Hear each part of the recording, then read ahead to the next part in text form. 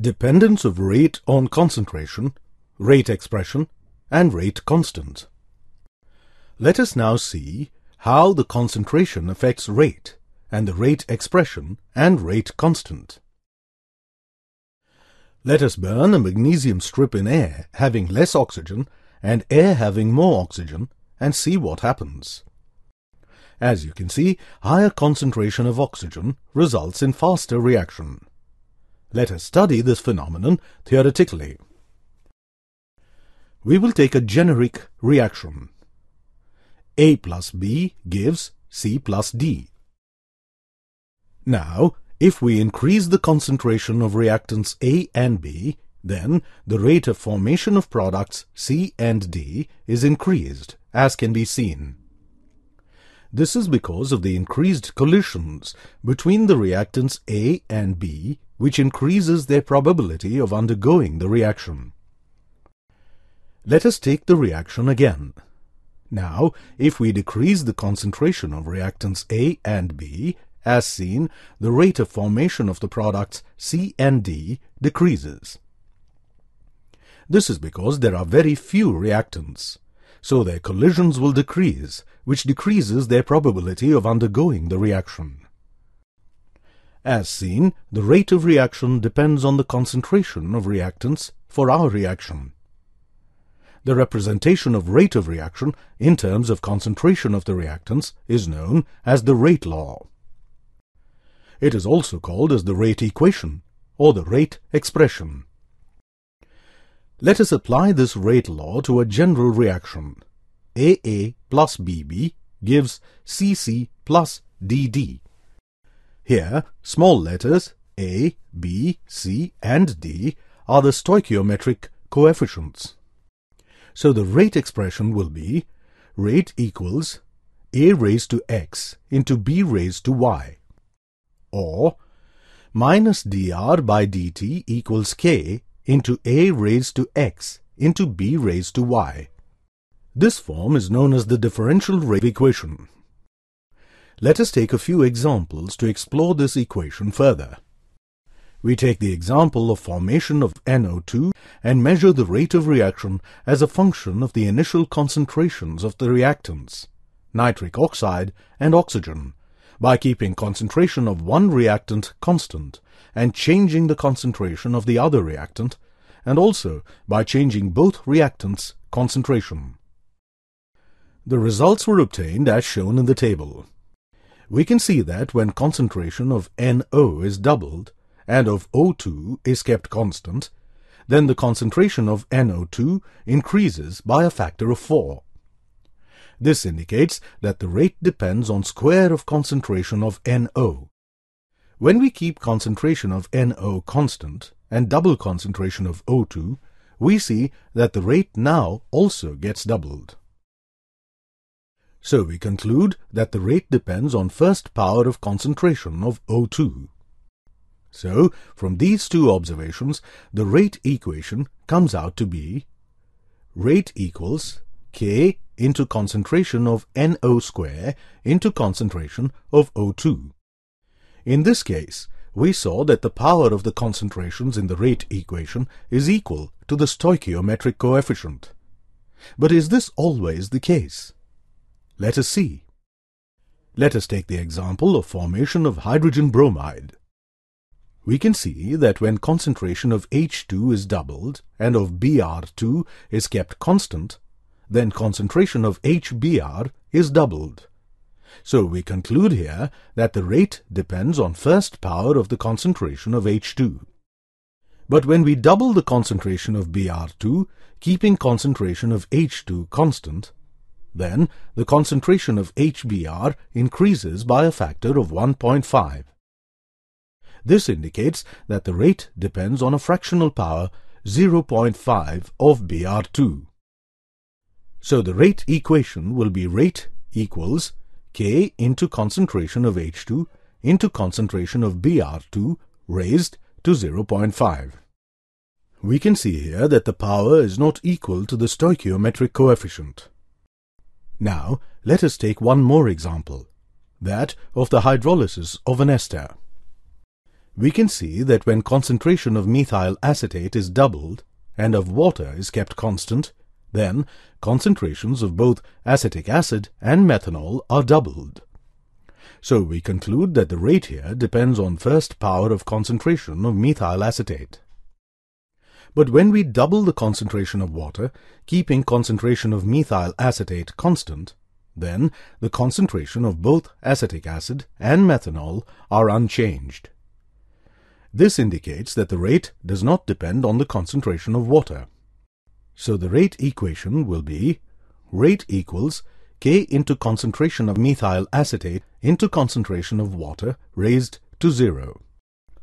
Thus, we have seen that rate law is an expression in which the reaction rate is given in terms of molar concentration of reactants with each term raised to some power which may or may not be the same as the stoichiometric coefficient of the reacting species in a balanced chemical equation. For any reaction cannot be predicted by merely looking at the balanced chemical equation, that is, theoretically, but it must be determined through experimentation. Molecularity of a reaction. One more concept that helps us in understanding the mechanism of reactions is the molecularity of a reaction. The number of reacting species, which may be atoms, ions or molecules, taking part in an elementary reaction which must collide simultaneously in order to bring about a chemical reaction, is called molecularity of a reaction. As seen in first equation, which shows the decomposition of phosphorus pentachloride, when only one reacting species is involved, the reaction is termed as unimolecular reaction. The second equation shows dissociation of hydrogen iodide. Such reactions, which involve simultaneous collision between two species, are termed as bimolecular reactions. The third equation, showing the formation of carbon dioxide from two molecules of carbon monoxide and one molecule of oxygen, involves simultaneous collision between three reacting species. Such reactions are called as trimolecular or termolecular reactions. These reactions occurring in one step are called elementary reactions. Usually, molecularity greater than 3 is not observed as the probability that more than three molecules can collide simultaneously and react is very small. But then, what of reactions such as this? 4 moles of hydrogen bromide reacting with a mole of oxygen to form 2 moles of water and 2 moles of bromine. The apparent molecularity here seems to be 5. But is it actually so? This reaction actually occurs in the following steps. In the first step, the HBr and O2 molecules collide to form the HOOBr complex. As seen, this step is bimolecular. In the second step, HOOBr complex formed in the first step collides with HBr to form HOBr complex. This step is also bimolecular. In the third and final step, the HOBr complex and HBr collide to give water and bromine. This step is also bimolecular. We multiply the final step by 2 so as to balance the intermediate step equations, and so we get the balanced final equation. As we saw, at no point of time does the molecularity increase more than 2. Such reactions, wherein a sequence of elementary reactions gives us the final products, are called complex reactions. Let us take another complex reaction that occurs in steps. The reaction is between 2-bromo-2-methyl-propane and the hydroxide ions from sodium hydroxide solution to replace the bromine atom in the organic compound with the OH group. The first step in the reaction is that the carbon-bromine bond in a small proportion of the organic compound breaks to give ions. The carbon-bromine bonds are quite strong, so this change is slow as the covalent bond reforms if these ions hit each other again. The curved arrow in the equation shows the movement of a pair of electrons. Now, if there is a high concentration of hydroxide ions present, then the positive ion which was formed has a higher chance of hitting one of these hydroxide ions. This step will be very fast. A new covalent bond is made between carbon and oxygen using one of the lone pairs on the oxygen atom. The carbon-oxygen bonds are strong, so once the OH group has attached to the carbon atom, it tends to stay attached. Now, the overall rate of a reaction is controlled by the rate of the slowest step. Like in our example, the positive ion has to form first in order to combine with the hydroxide ion. And this formation of the positive ion is a slow step, so it determines the overall rate of the reaction. The slow step of a reaction is known as the rate determining step. We can understand this through a simple analogy. First, let us use all big funnels stacked one above the other. As you can see, the water flows down fast through all the funnels and into the beaker. This can be compared to a reaction with all steps occurring at same pace. Now what will happen if one of the funnels has a smaller mouth?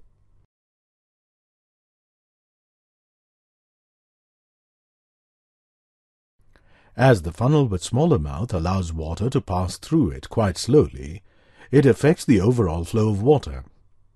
In spite of there being bigger funnels, it is the funnel with the smaller mouth that is determining the overall flow rate of water. This can be compared to a complex reaction in which there is a slower intermediate step. The rate of this slower step will determine the rate of the entire reaction. Hence, the slower step is called the rate determining step.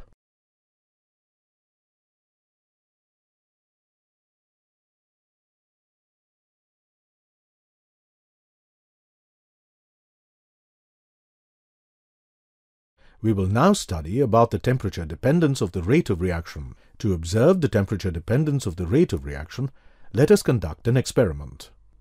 We have a flask of oxalic acid. We will add potassium permanganate to it. We take the mixture in two flasks and heat just one of them. We can see that the solution at higher temperature loses color much faster than the solution that was not heated.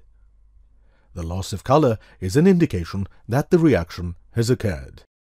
A general observation regarding reactions is that for every 10 degree rise in temperature, the reaction rate doubles.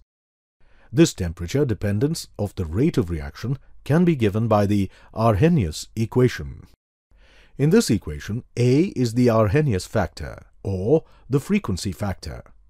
EA is the activation energy, and R is the gas constant.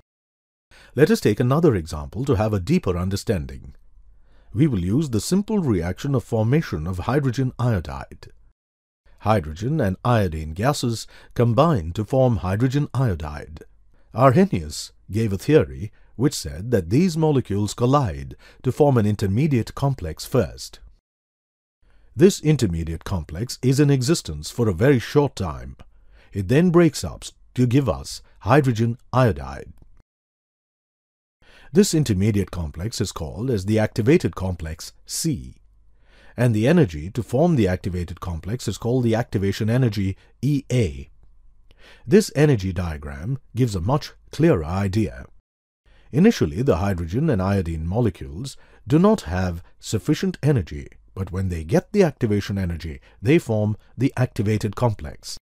This complex disintegrates to form the product hydrogen iodide. Some energy will be released during the process of disintegration of the intermediate complex. The amount of this energy released will depend on the energy of the initial reactants and the final product.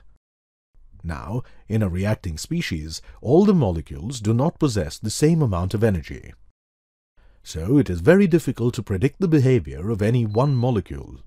To overcome this difficulty, Maxwell and Boltzmann used statistics to predict the behavior of a group of molecules. They described a way to represent the distribution of kinetic energy of the molecules by plotting the fraction of the molecules, Ne by Nt, with a given energy E versus the kinetic energy. Here, Ne is number of molecules with energy E, and Nt is the total number of molecules. The peak of the curve corresponds to the maximum fraction of the molecules having the same energy. So, this gives us the most probable kinetic energy. Very few molecules have sufficient energy, activation energy, to undergo the complex formation.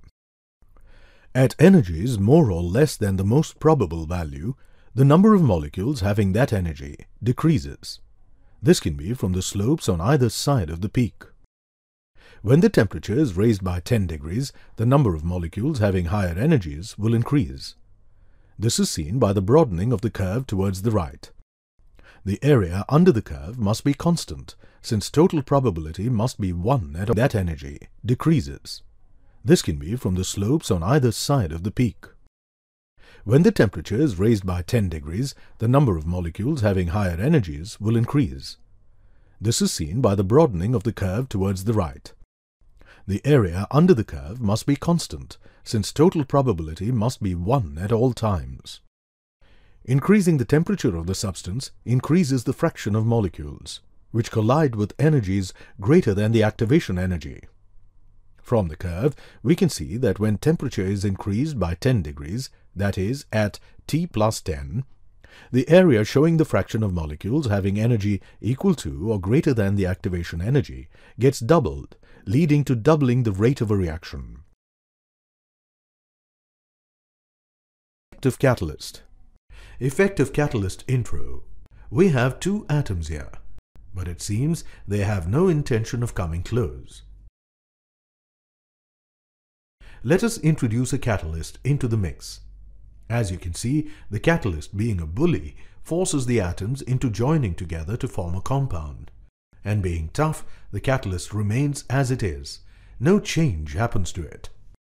Let us now study about the effect of a catalyst on the rate of reaction.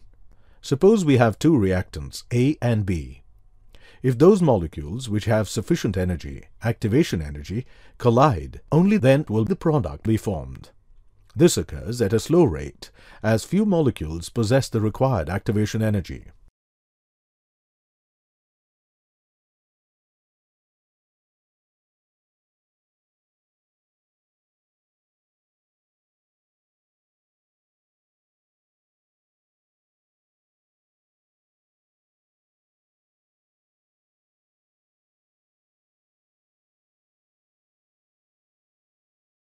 Now let us introduce a catalyst and see what happens.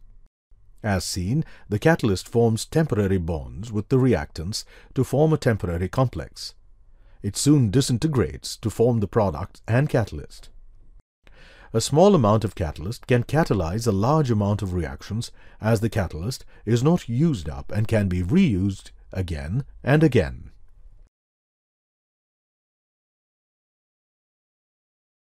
The graph shows the energy curves for the reaction without catalyst and also for the reaction with catalyst. As can be seen, the catalyst provides an alternate pathway or reaction mechanism by lowering the activation energy required to form the product. The Arrhenius equation also tells us that on lowering of activation energy, the rate of reaction will be increased. A catalyst does not alter Gibbs energy, delta G of a reaction. It catalyzes the spontaneous reactions but does not catalyze non-spontaneous reactions. It is also found that a catalyst does not change the equilibrium constant of a reaction. Rather, it helps in attaining the equilibrium faster. That is, it catalyzes the forward as well as the backward reactions to the same extent, so that the equilibrium state remains the same but is reached earlier.